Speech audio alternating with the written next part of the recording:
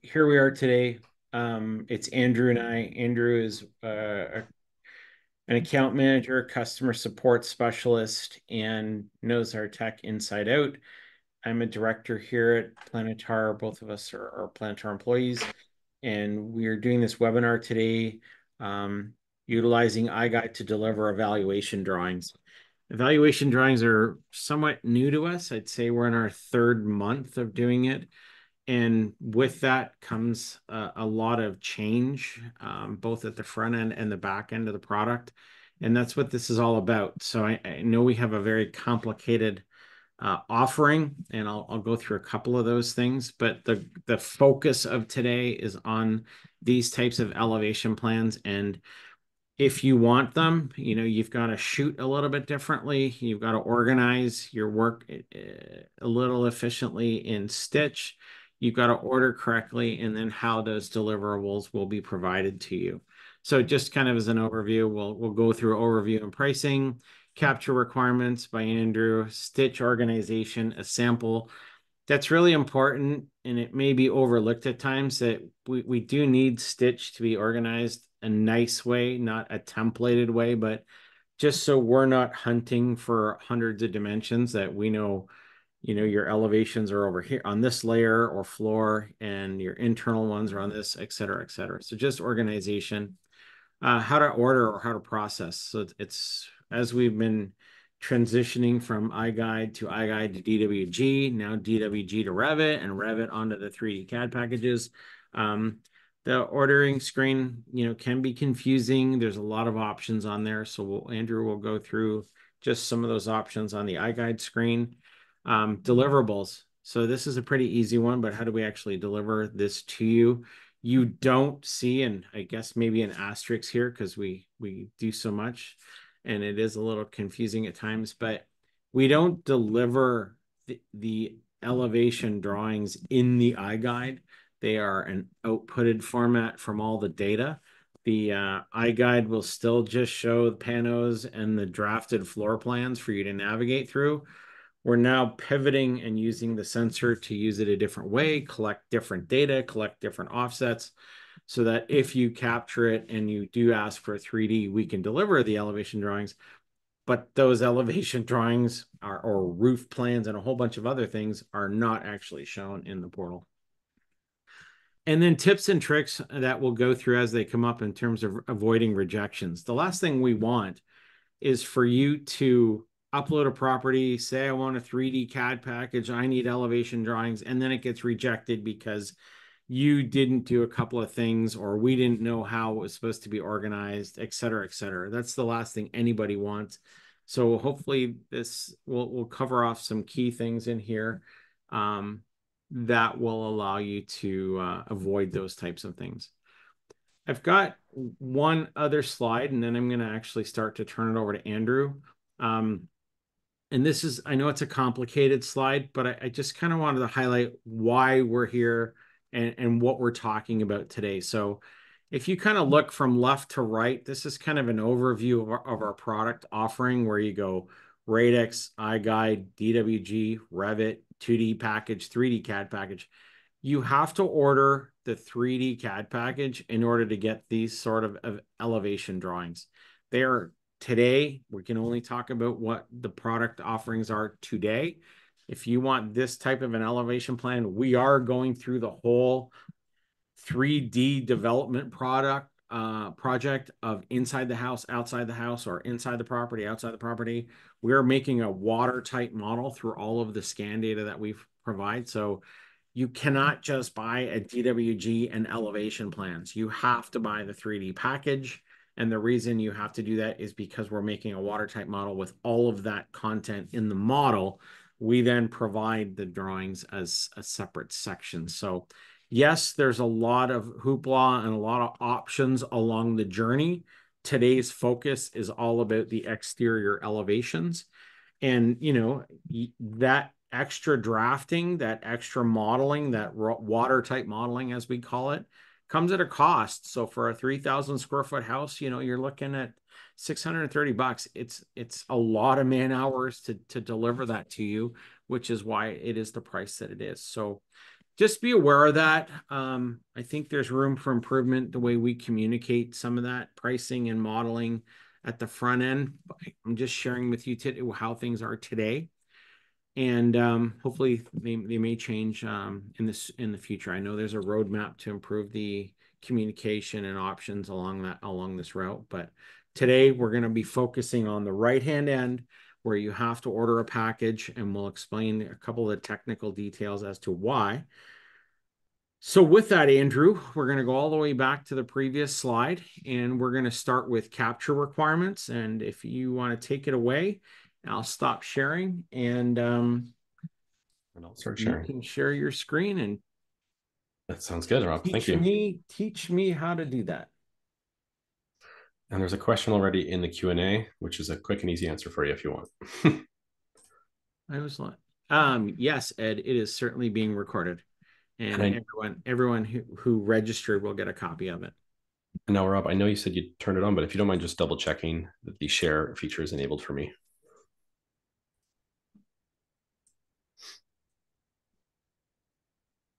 Okay, try now. There we go. Thank you. Thank you.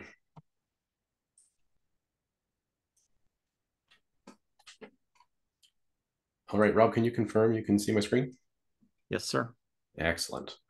All right, so I've gone ahead and shared my uh, survey connection. So I've connected to my Planix through my laptop here so that everyone should be able to see. Um, you're probably used to uh, creating your project, and labeling at the address and then scanning it in a typical fashion where the Planix is uh, upright and you're scanning uh, as you normally would. However, we need things organized in a slightly different way, or rather, quite a significant, significantly different way, so that um, the data doesn't get, you know, overly complex for you to see it on site, but also so that our drafters can quickly uh, assess the data and then give you the outcome that you're requesting. So I'm going to click on my project here. Uh, and for those of you who are not aware, you can have multiple projects on your disk at any given time. So I'm going to click on Masterclass Elevations and Vertical Scans. And you can see how I've organized my data here. So take a moment and uh, you can look at what we've captured here. But one thing to, to note is that you're going to scan the main floor like you normally would, and every floor on that property like you normally would. Uh, I'm going to pull up actually a quick little video here, if that will work. If it will play, we'll find out. And if not, that's quite all right. In fact, let's make sure. So we've done our basement here. So you can see here we've got our basement. So this scan looks pretty typical to you. However, once we get to this panel over here, and let's just go full LiDAR mode. Once we get to this LiDAR scan here, this is where we've reached our staircase. So then once, once we've scanned the entirety of the floor, we're now going to create the elevations for it. So in this case, I'm going to go to the menu. I'm going to click on floor. And then I'm going to create a staircase for that correlating floor. So in this case, it's going to be basement stairs. Once I've gone to that point, I'm going to have, I'm going to take my first scan at the bottom of the stairs. Then I'm going to take at least one at the top and if it's appropriate or necessary, you can certainly take additional scans along the staircase. So one at the bottom and one at the top. And that's going to be maintained within the floor called basement stairs in this example.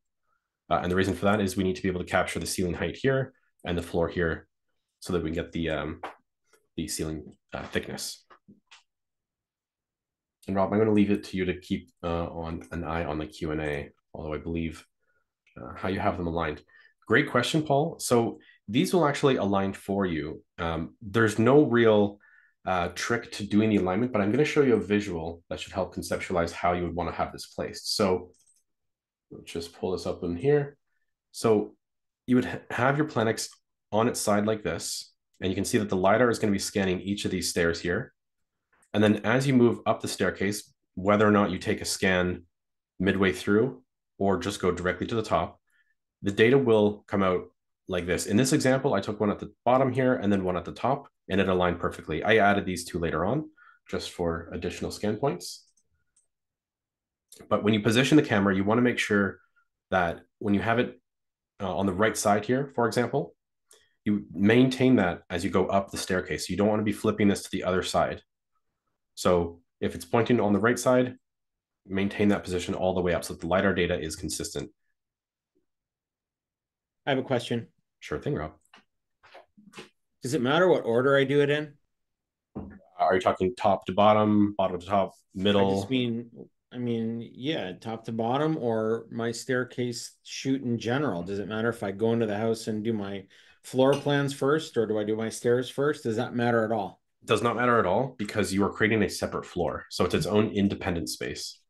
Now you can tell me otherwise, but uh, from my experience, um, because you've got it on its own floor, you are creating a standalone uh, lidar uh, data capture point, and so it's not going to conflict with anything else that you have or have not scanned.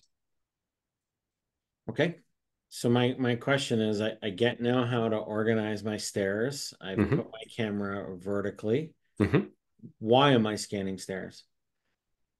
Very good question. So let's go back to our staircase here. So uh, as I briefly mentioned there, uh, we need to be able to see the LiDAR data for the floor uh, above and the ceiling for that floor. And that is going to allow us to calculate the ceiling thickness. So so Jason has a question while we're while we're talking about this, and we'll answer it now. Does the camera have to be on its side? So when you're doing this 3D CAD package, and and it's kind of um, it's kind of a- default regarding the 3D CAD package that we want the model to be as accurate as possible so we can provide the drawings as accurate as possible. And in order to do that, we want an accurate floor to ceiling measurement. And that's what Andrew's doing now. And by putting the camera on its side and getting the floor of the basement to the floor of the other one, um, you're getting now an accurate floor ceiling measurement. So we can, again, it's just another raised level of accuracy in order to make that Revit model as accurate as possible. So yes, to answer the question, if you want if you want to just order a Revit package, no, you don't need to put it on its side. We'll do the vertical measurements and the interpolation from just the photospheres. But if you want the 3D CAD package with elevations, you have to put it on its side. And then in regards to the angle of the angle, yeah, you should be making sure that it's level here as well. Mhm. So very good questions, very, very important questions. And what is the difference between stitching and aligning? Um, it really means the same thing. It's just making sure your scans are aligned. It's um, when we say aligning, it just means that um, if your auto snapping during capturing aren't aligned, they, they have to be aligned. They have to be able to see geometry to align with each other and snap together. We're, we just typically use the word stitching because we take the output from the camera and go into stitch where we are doing these aligning functions and they get kind of they sometimes get the acronym we're stitching it together we're aligning it together it's the same kind of um it's just different names meaning the same thing Yeah. do you need to do two scans at the top of the stairs one on the right and one no you just need to do one at the top in the middle let's say and one at the bottom in the middle it doesn't you don't need to do two we've we've got a couple extra shots on this on the screen that Andrew's showing right now. Yeah. Um, I I personally choose to do an extra couple shots in the middle. That really just depends on the geometry of the stairway and the length of the stairs, because you need to be able to align or stitch that data together as you transition up or transition down. And if you've got a very long set of stairs and you can't see alignable geometry, then you have to do midway points as well. So you don't have to do necessarily two at the top and two at the bottom, or you just have to make sure you've got data, just like Andrew's showing on a screen, that can accurately capture the ceiling in on the bottom section and the floor on the bottom and on the on the upper one and be able to align those together so we can go in and measure the distance between the lidar and that gives us an accurate um, floor to ceiling measurement And, and just to ignore this uh, extra one here on the bottom of my screen. So, Anush, that's a great question. I think it's a little bit outside of the scope today, but by all means, um, Andrew does master classes every Tuesday and Thursday, or you can email me and I'll show you how to do it. There are two or three different options in Stitch for moving data around to mm-hmm. uh, align them properly. Yeah, and I'm hosting a webinar today at 5 p.m. Eastern if you want to join, and we can cover that. Great, these are good questions. Oh, there's some more coming in.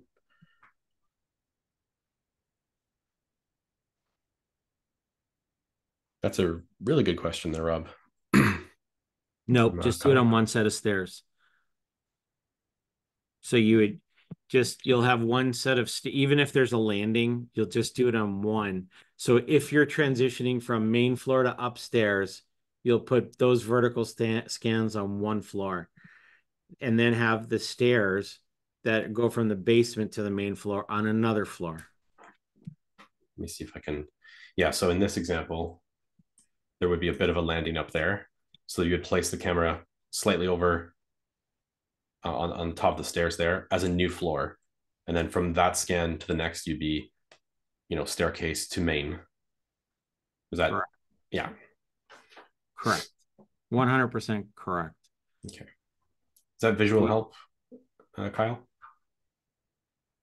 All right, so we we got another two questions on related top on somewhat related topics. So I'll go to the Bruce. Bruce asked a question. I have done a couple of these projects, but the size of the file was too large to send as normal. So the only time that that it's not necessarily the size of the file, it will be the number of panos. Um, so it, it it's it is normal right now. It's somewhat gated and if you ever have that come up again, you just need to send us an email because we have a, a backdoor around that. It's designed to do that at 250 panels right now so that people aren't uploading 30, 40,000 square foot properties as a 3D CAD package without us reviewing the geometry to make sure we can even do it. So it's gated there for a reason.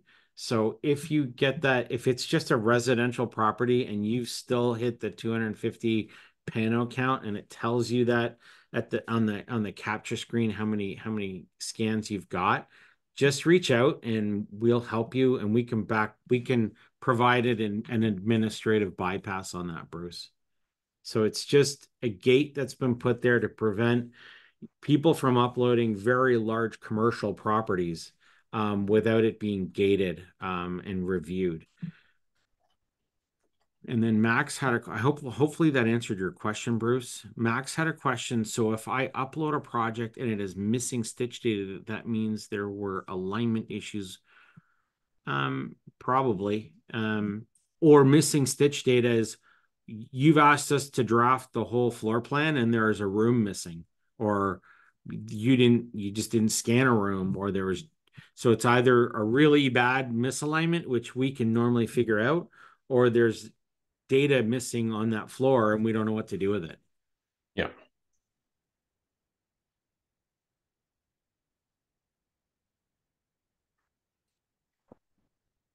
All right, go ahead. Good questions coming in. Keep going, Andrew. Yeah. Great questions. Good, good indeed. All right. So um just picking up where we left off, we're covering the stairs there. So then we're going to just show you the floors one more time. So just to recap, you're going to create several floors uh, in your project creation. So you're going to take your main floor, maybe you know you're going to create a second floor or upstairs, whatever you like to call it, and perhaps a basement. You're going to scan those like you normally would, and then of course you're going to create your vertical scanning floors. You're going to separate all of your vertical scans on their own independent floor. Uh, that allows the data to be easily viewed, easily processed, and then gets you your final product very quickly. Um, and it will save you a lot of time when you're on site as well, because when you organize like this consistently, um, it's it's going to come second nature to you, and then you're going to be in and out of that property faster than you know it. So, with that being said, let's uh, take a look at Stitch, what that will look like once we were to load this type of project into Stitch.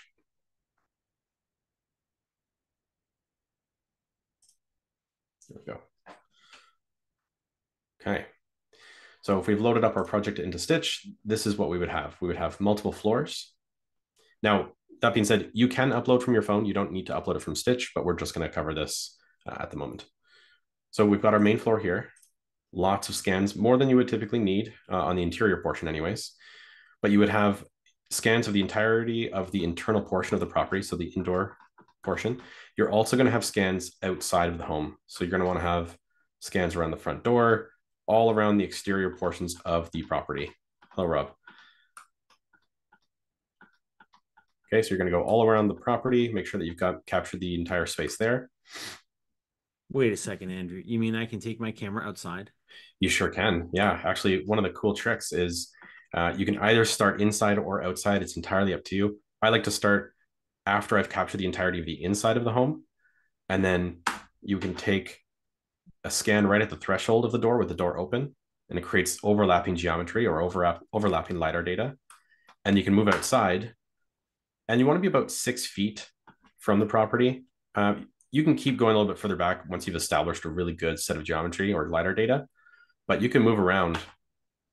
Again, you can see here, I'm hitting the corner. You can see on the visual portion of the screen, this LiDAR data is correlates with the, the, the outside of the home and you just keep going around the property.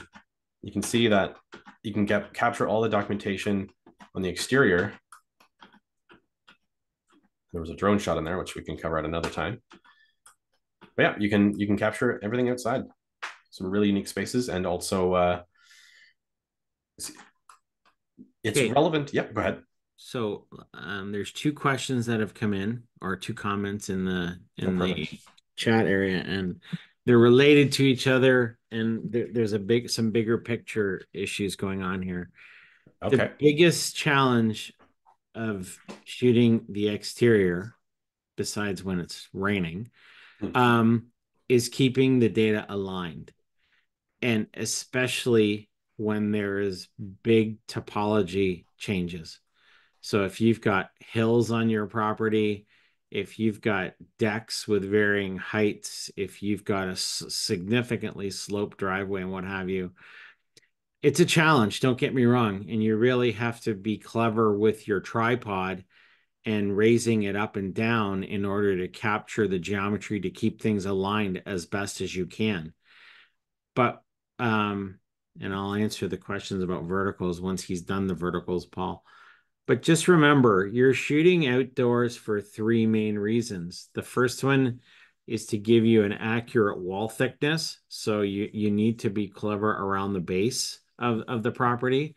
The second thing is to give us visuals of what type of siding and brick and windows and doors and all that is on the property. So your topology or elevation changes are become important, but but not as critical as your indoor stuff. So you just have to be clever. This was an, a, a, really difficult property because of the elevation change from the front yard to the backyard and the steps going down, the the uh, elevation in the back property. There's it's just not it's not easy. You just have to take your time and do it and and get it aligned as best as you can. But just knowing well that it's for the wall thickness calculation and so that the drafting team can look at the properties of the external and um, you know use things like the eaves trough to align to and your gables to align to and what have you that way. Just do the best you can with what you have and we will try and use it as best as we can.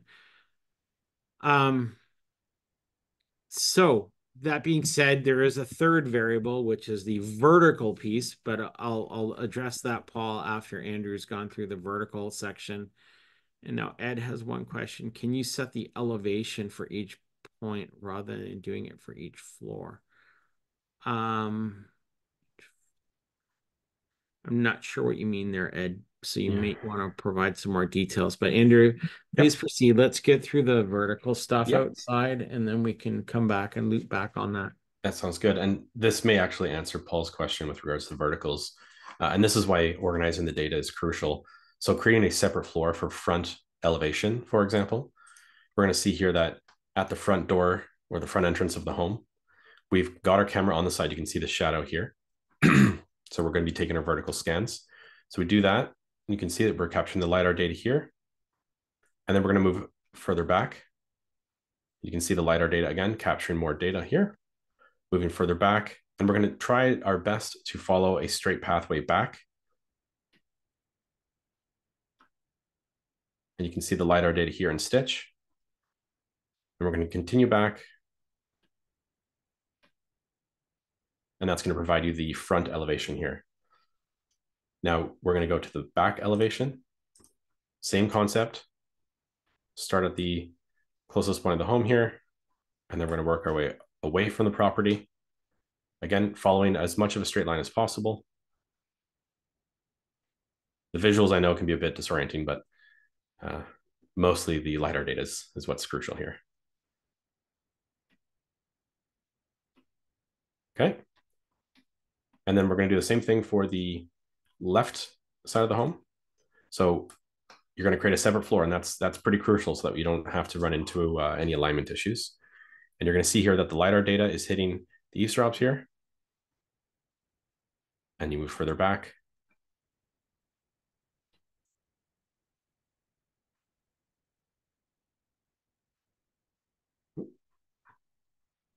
And the same thing for the right side. So organization of your data is probably the most important next to, of course, um, you know, adjusting for any sort of a, uh, fluctuation uh, when you're capturing it on the, the normal sense and making sure that the tripod is, uh, of course, level as, as possible. Each scan. I'm just checking all those questions there. Um, if possible, if you post your questions in the Q&A, it just helps Rob and I uh, keep them organized so that they don't fall off the radar here. Rob, I'm sure you're quickly scanning through them too. Yes, Paul, to answer your question, there are times where I often elevate, especially if I have a tiered roof, mm-hmm. that I do elevate it up in the air, even in the vertical orientation. Because what the big takeaway with this elevation scanning is that the visuals are very nice and the drafters do need the visuals to know where the window is and know where the door is and where the chimney is and be able to measure this and that off of the photos. The most important thing is the alignment of the lidar data because we're able to pull the measurements we need off of the lidar data. So the, you're kind of swapping that the lidar data is becoming more important during these operations than the visuals and it's just allowing us to feed the drafting team the cross sections they need in order to draft the property. Hmm. Very good. Uh, Clinton, to your question, uh, is there any way to see the, the green line here that you see in Stitch in survey? Unfortunately, not. So keep in mind, you were showing it a bit earlier. There is a pretty big update to survey coming with SLAM. I don't know if you wanted to show that, but um, that is going to project the LiDAR so you know it will show you um, a little bit more at the time of capture so you know that everything's aligned. I think that will do a lot of the things you wanted to do with the green line. Oh, I can show that a very quick version of that. it wasn't yeah, there we go. So you can see here. Oh. Yeah. As you're scanning, uh, it's going to align, it's going to help you with your data alignment, uh, showing you in real time.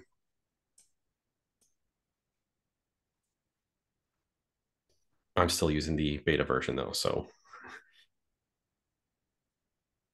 Yeah, but we're not we're not worrying about alignment, guys. you have to remember, sorry, we're not using these vertical scan data to draft off of. We're making sure that the LiDAR cross sections are aligned.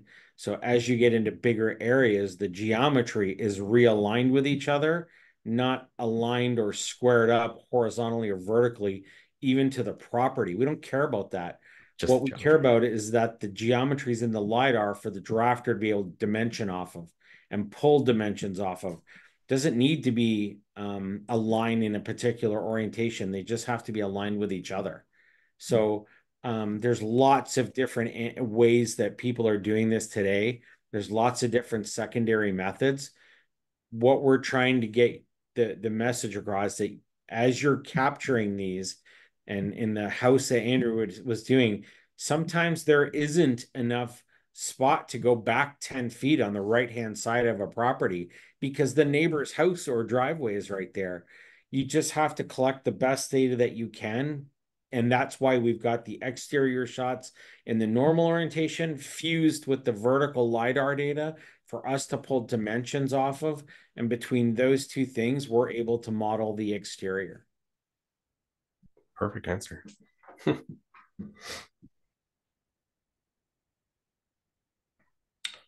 All right. So I don't know. We, you know we we were talking over this as Andrew was doing this, but what's coming out? And this is a product that's in in about to be released is a new update to survey that actually shows forward looking lidar. So before you take your shot, you're actually able to see how much new geometry is going to be collected as it's aligned to your existing scan. So it's it's kind of neat that before you press the measure button, there's a new uh, visual aid to help you keep things aligned, squared, and are you capturing enough data? All right, Andrew, let's move on. Yep. oh,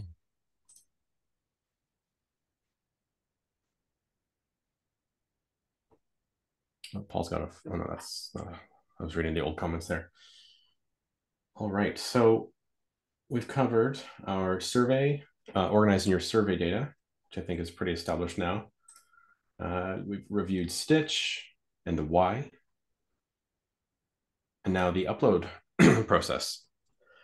Pardon me, just need to cough one moment.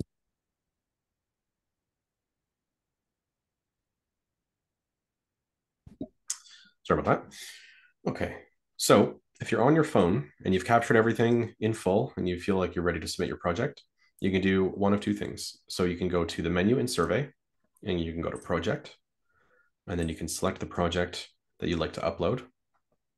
And you can click on this button here. After it stitches all of the panels, you'll be following the next uh, steps, which is to upload it to the portal. Uh, this is run directly from my computer, so it's not going to look the same if you were to do it on your phone.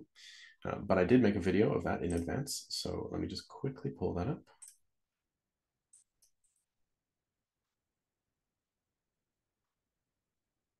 So here you go. So you'll see it's going to stitch all of the panels together. Hopefully I've sped this up so we don't have to wait the entire time.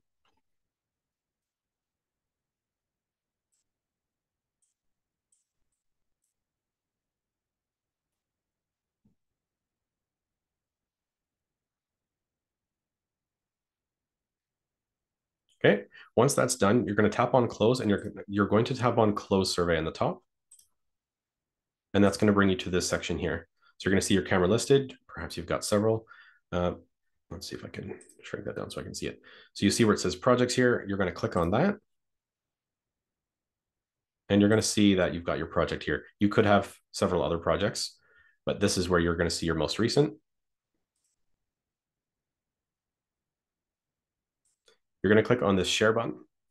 and then from there, you're going to be notified that you can open up the portal and you'll be presented with the option to upload new data or update an existing. You're going to be clicking on new if this is a new project, of course.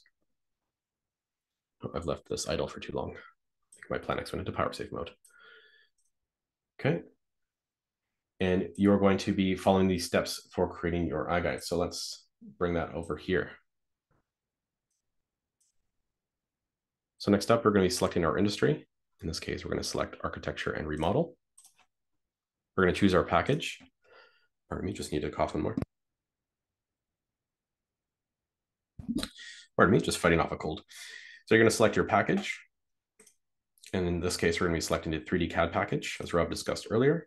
You're going to select your uh, measurement system that you're gonna be using, so metric or imperial.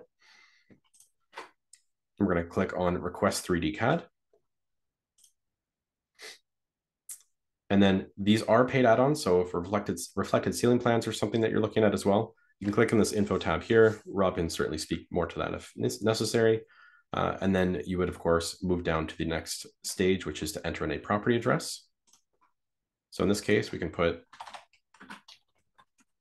Parkside Drive. Now, this is covered in another video, but if you don't want to have an address associated with your iGuide, you would just click on Disable Property Address and then just enter in your own internal version of how you'd like to refer to this property that you're working on.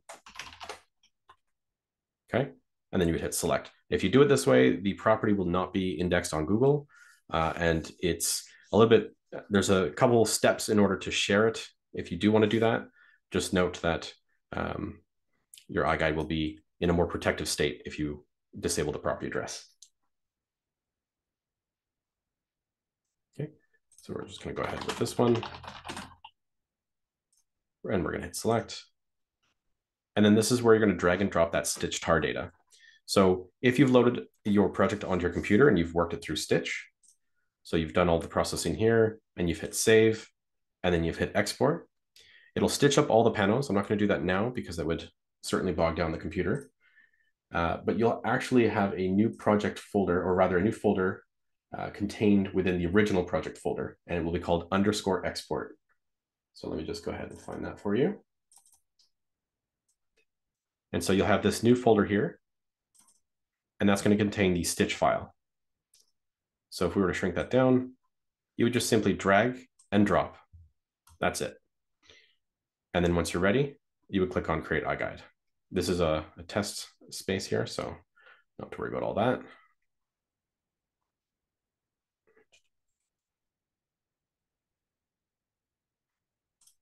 Just go back and make sure that everything is good. Rob, have I missed something here? Perhaps I selected additional settings.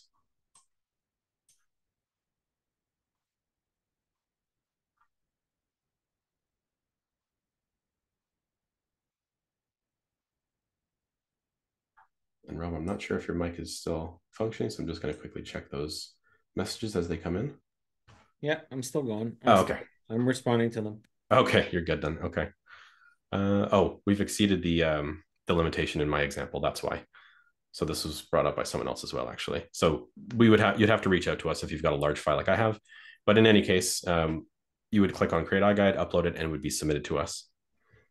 And that would be the entirety of the process for submitting your data uh, one thing I do like to remind everyone though is if you're going to be uploading from your computer, or rather if you're working on your project in Stitch, make sure you're fully copying the project from your USB onto your computer and then safely eject the USB and put it back into your Planix. Two reasons for that.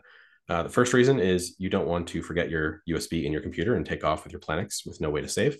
Uh, the second reason is you want to avoid losing your data. So if you're doing a lot of reading and writing to your USB, it's a lot of work for the USB and you don't want to uh, you know have any data loss. So always copy the file from the USB onto your local drive and then safely eject it before working on your project in Stitch.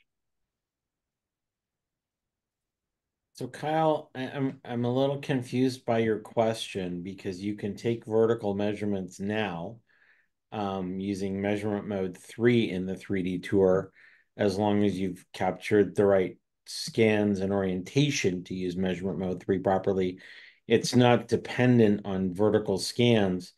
The vertical scans are great if you have a CAD system and you want to take the points and do additional measurements off of the LiDAR. But for just general use of vertical measurements, you can do that in the 3D tour now. Andrew's just kind of doing an example of that. So you don't have to do this 3D package to do what you asked, unless I don't understand your question.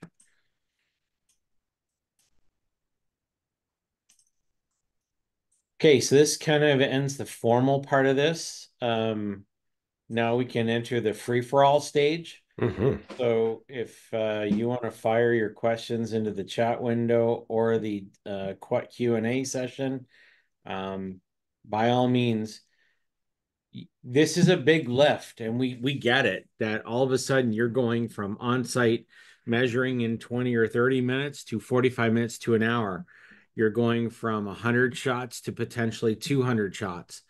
It's a big lift, it's a big price jump. You're putting the camera in different orientations, you're creating new file new layers and folders that you haven't had before.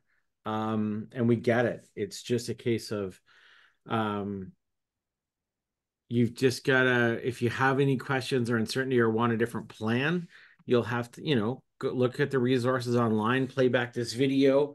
We have now done hundreds of these um, since it launched a little while ago. Uh, we've done hundreds, and I think we've done closing closing in on 500 of them already. So we know the um, we know the process works as long as it's organized, and you can imagine we're asking it to be organized this way, um, uh, so that our drafting team doesn't spend eight hours trying to decipher where the vertical scans are. That's all. Um, so I'll start to go through the questions because Andrew's having a hack attack still. Um, will you offer this class again? Um, we are doing the simple answer to that question is we are doing more and more and more about vertical scanning, vertical drafting, vertical uh, alignment and separation that I think it's going to be the new topic and norm for us. If if Mark, you need more information, you can obviously play this back, but we also do free onboarding classes, which is kind of like a free for all every Tuesday and Thursday that you can join. And if you need more help with that, Andrew will be uh, administering those sessions and we'll be able to help out. Um, so I hope that helps. Um, deliverables of a three of a 3D iGuide. So uh, that is a fantastic question, Joe. Wow. Um, when you or when you order a 3D package, you obviously we are modeling that as a 3D in Revit. You're going to get a Revit model out of that. You're also always going to get your 3D tour out of that. There's nothing we do that doesn't include the 3D tour. So you've got your 3D Revit model, which is your inside and outside geometry. You've got your 3D tour. Then you've got your DWG files for every floor plan, and every elevation plan. So you're basically getting a drawing per floor, a drawing per elevation, plus the 3D CAD and the 3D tour. So that's kind of an, a very high level overview. You're being delivered a lot. that's why the price is so high because we're doing a lot of work, right? Um, you don't see all the work we do in the background, nor do you really care about how we're taking your stair geometry and we're doing floor to floor alignments with it we're making it really accurate or as accurate as we can through your stairwell alignments, uh, elevator shafts, exterior walls, and what have you, so that we create a watertight Revit model on the back end. So it's a really good Revit file uh, of inside and outside geometry. Have so I hope that helps, Joe. You know, you get your 3D, your 2D, your tour, um, plus a PDF package, plus your dimension plan. So there's a lot that goes in there now. Have you, so a question now from Monica. Have you covered vertical on the exterior and at the top and bottom of stairs? Okay, wow. Yes. Thank you for thank you for calling us out on something that we missed or we skipped over really quickly. Um there are three verticals required. You obviously uh, you have to do the exterior that that Andrew has just gone through. So at the front, side, back, and left of the house right? You've got your four quadrants. You have to do your, your verticals there. You have to do your verticals in your stairwells. We also recommend you do verticals at least on at least one per floor. Uh, so in inside the house, one per floor, but additional ones where you have complex ceilings. If you have sloped ceilings, angular ceilings, if you have separated ceilings, basically the more you put in there, the more accurate of a model it is, but specifically with angular, angled or uh, offset ceilings, complex ceilings, and things like that. So yes, uh, stairwells, interior scans for verticals, and then exterior scans for verticals. Um, and then if you've got six foot ceiling, a six foot two inch ceiling, an eight foot ceiling, an angled ceiling, you don't have to have them on different floors. Just have a vertical scan in each of those rooms. Um, so I hope that helps. I'll move on with that. If you have anything else, Monica, please reiterate that below. And news, is there any way to find out the cost of deliverables for the project after Stitch upload, but before drafting process starts? In short, no, in terms of an accurate price, no. The only thing you can do is guess. Uh, I think this is roughly 5,200 square feet and put that into the calculator. Um, there are some people that go to the extent of going all the way up into a Radix. They quickly sketch through the point cloud. That cost them five bucks. They now have a calculator and can then say, well, it's at, was actually 5,400 square feet based on my length and width calculations. And for that, they can um, do a better guesstimate. It just takes probably an extra half an hour of work before you get to that point. So in short, no, but with a pretty good, with a not bad workaround, you can get there. Yeah, and just to add to that, I've seen a couple people they'll get their iGuide drafted, and then once they have their total square footage, then they'll use the calculator here uh, to estimate the the uh, the cost, like Rob was talking about. Yeah, because if you're doing residential or like commercial, you can always get the iGuide drafted. So now you mm-hmm. have your floor plans drafted, and then request the 3D package as an update. You don't have to hit the grand slam first. You can hit a single and then say, all right, I know what my square footage is. Yes, the customer wants it and we just subtract the cost of the iGuide out of the 3D package. You're not we're not double dipping on that or anything. Uh, hopefully that answers your question, Anuj. Uh, Mark, do I have to have CAD to read the vertical measurements? Um, I do insurance claim. Will the vertical exterior be included in the ESX? Nope. Um, the vertical measurements are not used in ESX files. Those are those are completely different drafting data set and drafting procedure.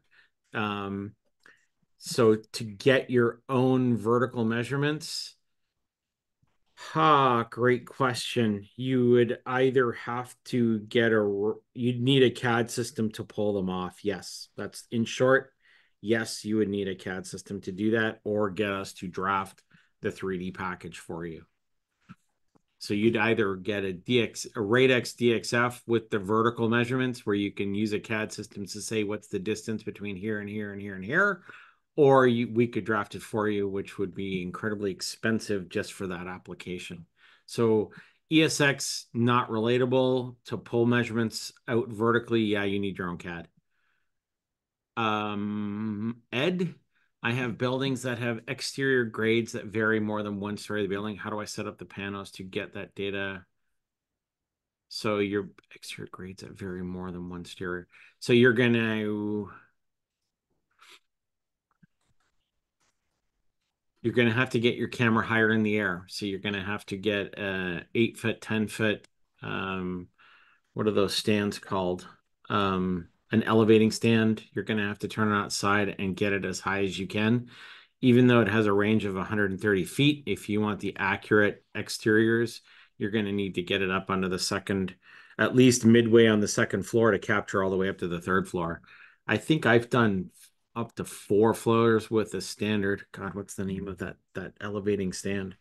Um, and it works not too bad. So it can be done, Ed. You just have to have a better stand.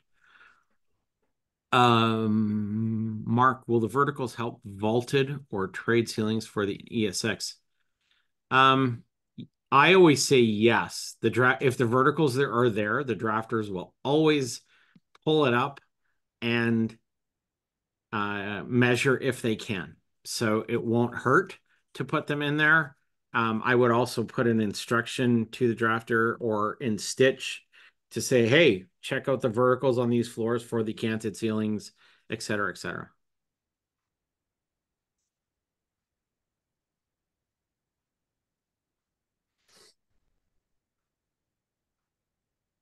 So Bruce had a question. It would be much more satisfying to me if I could see the results that I'm submitting to my architects rather than just hoping that I'm delivering what they need. So, Bruce, with the 3D package, you are getting two deliverables, three with the tour. The second deliverable is a complete set of PDF drawings that you are getting delivered with that, with all the CAD data. So you can up the you can open up those PDF files. Um, I don't know if you have a copy of that, Andrew, but you can open up those PDF and see everything you're sending to them prior to you sending it to them. And so you're not blind. So it would just be you opening up the PDFs and reviewing them before you passed along the the CAD data to your to your architect. I I hope that helps. Um, it should. That's why we put the PDFs in there because there were a lot of people that didn't want to forward on the CAD data for some reason or another. Um, Max, if I have alignment issues in Click, I know what I'm doing. Will it still show up as needed stitch as needing stitches when I upload it? Max, I assume you mean uploading from the app. Um, it just means that the the by default the drafter is going to realign it anyways. So I think you're okay. I, I, they will realign it as best as they can. Um, I wouldn't stress too much about that. You know, in Stitch we often go and correct everything, but if if it's just off by a little bit, then they'll fix it on the drafting end before they do it. They realign every property anyways. They have better tools than we do, um, than you do, and, and I do myself for realigning the property. So I think that's as long as you clicked, I know what I'm doing, and you know it's on the same floor and it's in the same area, they'll do the best they can to align it for you. It would be neater to have section a section for elevations instead plans also with a different icon and survey and stitch. Oh, um, Antonio, I 100% agree. Yeah. all I'll say is stay tuned because we keep yelling for that. Um, I I totally know what you're saying, and I think again, this is brand. This kind of organization and scanning is very new to us. So as we get more comfortable in the deliverables and the output, um, more things are coming and in flight regarding the the use case, and we'll hopefully get that cleaned up. But I totally agree with what you're saying. Um, it would be really nice in my in I, like when you're saying create new floor, just to say right there and then is it a vertical or horizontal to help you stay organized and iconize it, make it easy, and then reuse all of that information on the back end when we're processing it. Mm-hmm. I know I didn't answer your question, but I feel your pain and I hope they do something about it. Uh, Bruce, I use the iGuide calculator to estimate what I charge and don't give them the final, but right. Yeah, Bruce, that's yep. a, a fair way to do it as long as your guess is good, right? Uh, Paul, in the cost calculator, when I try to figure out price for a bigger property that includes 3D package, it states to reach out a team member. Um, I would say that's you're you're absolutely correct, Paul. I would say that's going to be changing in likely the next quarter of us opening that up um, because we're mm-hmm. investigating and doing some other things. So stay tuned. Um, today it is what it is. Uh, I don't don't know what to say other than that's changing, um, and I don't know when it would be released. Um, that doesn't give me any interior elevations. The, you are correct. Um, we call those interior sections, and uh, we don't do interior elevations. We do exterior elevations. So if you want interior sections, it's a question of do you have um, Revit on your own, or would you like interior sections as a deliverable? We can discuss that as a private function. It, it's possible it hasn't been opened up to the masses because everyone would have different requirements and it would be impossible to manage. So um, I understand what you're asking for, Bruce. We just maybe need to get a better handle on how, when, what sections, etc. And we have all that information. So if you aren't delivering the Revit as a deliver, if you are delivering the Revit as a deliverable, the people who have Revit can section it and create an interior elevation from that. But you're absolutely right. We're not delivering that as a finished product right now. Adam, yes, there's a very easy option for 3D SketchUp, and that all you have to do is request a 3D DWG file from us, and it will automatically open in 3D SketchUp. So even though we've made it in Revit, you can ask for it as a 3D DWG file, and from there you can go into SketchUp. Um, we have probably eight, nine, ten customers that do that now. It works quite well. And they have validated the process and the workflow, and it works very well. Um, some of them have even changed their own workflow a bit better so that they can manage it the way they want on the backside in SketchUp. It's just maybe reach out to us and tell us how you would want to be using it and managing it, and then I can fine tune what you should be ordering from draft to do that. But you can do mm-hmm. that today. So if mm-hmm. you order a, a, a Revit file or a 3D package, you can say, please deliver it to me as a 3D DWG, and we will do that. I know it's not a menu box or a check box on the order form right now, but the save function for us is 10 seconds worth of work, and we'll do it if that's what you need. I think I cranked through those. Certainly did. All right, we have one minute left, but I'll stay a couple minutes on overtime if there's any other questions. This has been a big data dump, and I know. Thank you, Andrew, for. Oh, drone question. drone oh, very good. um, yeah, we love drone data, and the drafters love drone data because it helps them on elevated questions, or sorry, elevations, roofs, and things, just to see what's up there when you can't get up there. Um, you have to know how to use Stitch. There's no way to do this in the app. You have to know how to use import user panos and then put them on the scene the way you want. You can't really take measurements from them because there's nothing that aligns the drone shot visually or lidar wise to the rest of the scene.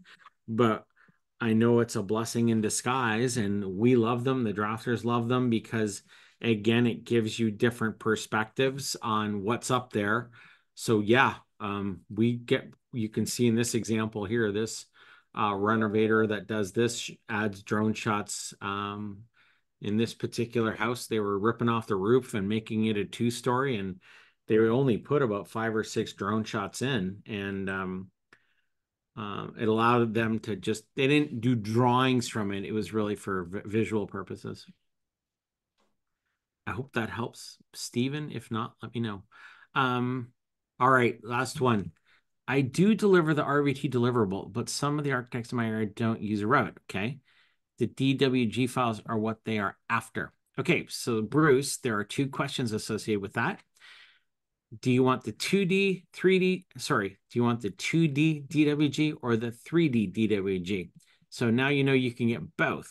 You're going to get both, or you can get both if you order the 3D package. You can give them the 2D DWG files or you can just say, hey, can you guys save out that Revit file as a 3D DWG? And we will do that. If you have a project you've done recently, Bruce, we can go back and save one for you as a DWG and I can email it to you and we can you can use that as a reference case.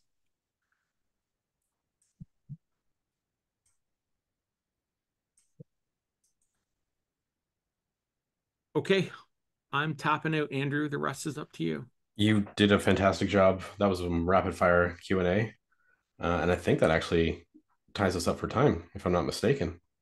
So I, I know I know um, Mr. Fish asked for more questions about the reflected ceiling plans. The reflected ceiling plan is um, an option on all the packages, so all the way up from DWG standalone DWG, standalone Revit, 2D CAD package, 3D CAD package. The reflected ceiling plan is an option.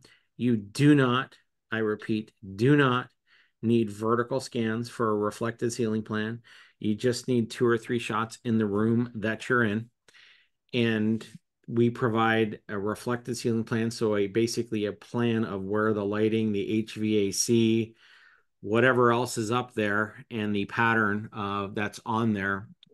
And we provide that as a drawing and then a table or a legend drawing as well for all the symbols that we use. So I will get Andrew to send that out when he sends the video out. Mm-hmm. Great question too.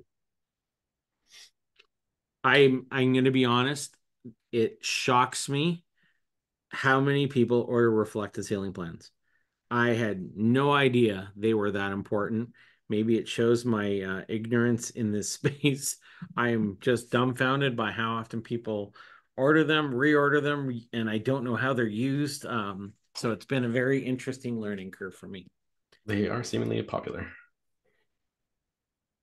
Let me, um, I'm gonna, I, I don't like to answer a, a question on a down note, but if it's the last question, um, MEP plans for the foreseeable future are not on the radar. They typically, we are adding more and more mechanical, electrical panel, some plumbing fixture objects to the plans, but not that you would consider a full MEP plan. So more and more things are being added at the premium level to augment the space and, and accurate, but um, not what you'd call a full MEP plan. Okay, last question. How do you contact if you have issues? Uh, if you go into the portal, click on the support tab. There are two ways. You can either call in or you can create a ticket. And if you have questions that are not necessarily uh, something that you feel is a product question, then you can email customer success at planitar.com. I'll put that in the chat. Oh, actually, I don't have permission. Rob, that would leave that to you to put that in the chat. Um, so you can email customer success at planitar.com and uh, we can certainly guide you. If it if we end up redirecting you to our supports team, then that's perfectly fine too. But email us anytime, create a ticket anytime, or call anytime. Uh, if you can't get through to them, just leave a voicemail with your name and your email that you use to log into the portal, and they'll they'll reach out to you. All right. Thanks, everyone. Thanks, Andrew. Thanks, everyone. Yep. Talk to you soon. Bye now.